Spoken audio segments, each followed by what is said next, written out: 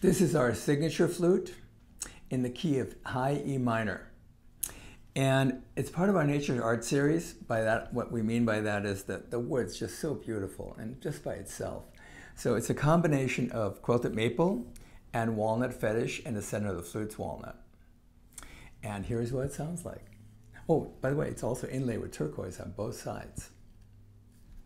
Here's this voice in the key of E minor.